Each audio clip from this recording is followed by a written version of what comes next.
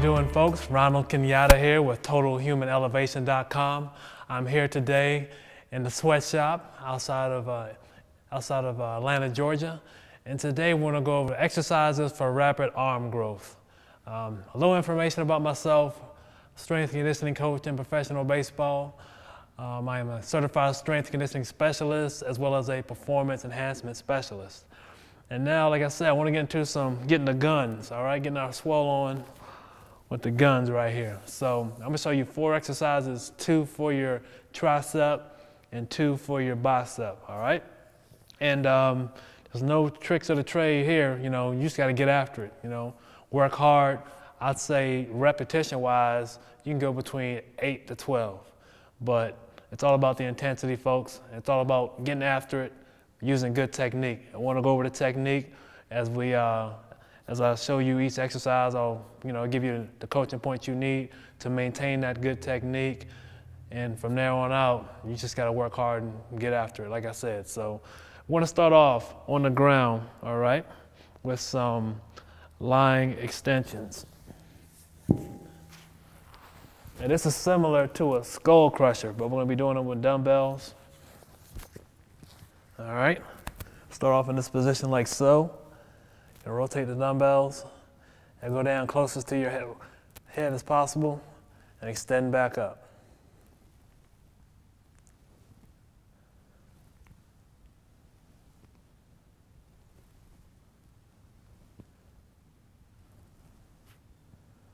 All right. Lying tricep extensions. Simple exercise. Keep your elbows close. Don't let your elbows flare out. Keep your elbows tight using good form and extend out. When you're coming down, get close to the head as possible and extend out. Don't move the elbows. Don't flare them out. Don't let them go down.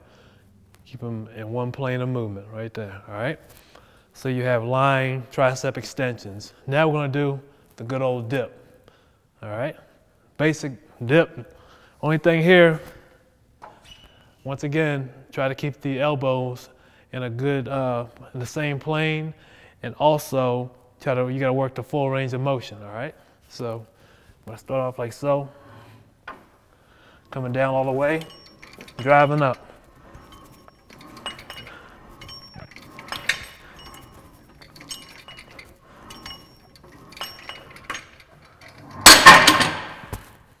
All right, there you have it, your dip. Now, my elbows were tight, kept my elbows pretty close, and also I was going through that full range of motion, and that's essential when you're working that uh, working the dip exercise. All right, so we have two triceps. Now let's get into the biceps. We're gonna start off on the other side of the gym with our preacher curl.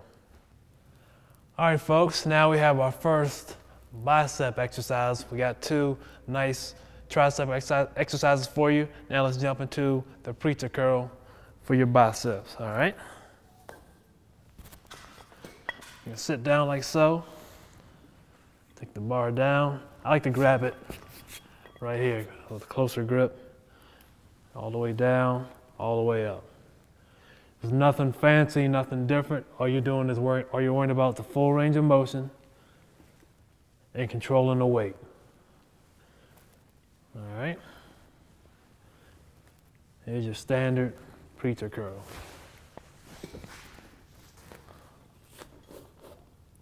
All right. We have one more, one more uh, bicep exercise for you. It's going to be the incline bar dumbbell curl, and we're to take that back to the other side of the gym. So I'll see you in a few minutes. All right, folks. So we have our last bicep exercise. We want to do the incline uh, dumbbell curl. I'm a big fan of this because it forces you to use good technique. The, first, the common mistake with this exercise is momentum. People will rock that, use that momentum to get that dumbbell up. So we're gonna start off palms up, and all you're gonna do is curl up, control it on the way down, eliminate the momentum. I also like to go one arm at a time. That also helps to eliminate the momentum. This is a great exercise, getting that, force you to get that full range of motion. All right, let's do one more and switch it up. All right, I'll switch it up.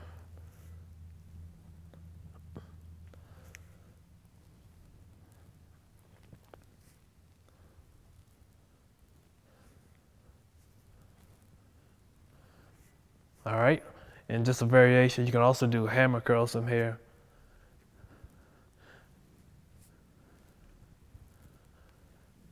What that does, it hits another muscle called your brachioradialis. That's a muscle that runs underneath runs underneath the uh, bicep. So, all right, folks, there are your four exercises for rapid arm growth.